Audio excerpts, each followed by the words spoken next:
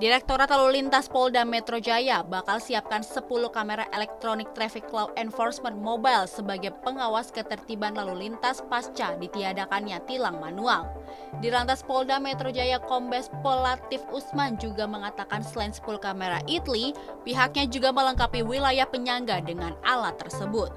Meski begitu, Latif menyampaikan jika penambahan kamera ITLI mobile ini akan diresmikan pada 6 Desember 2022 bersamaan dengan HUT Polda Metro Jaya. Dengan adanya ITLI nantinya tidak akan ada lagi penilangan manual secara seterusnya.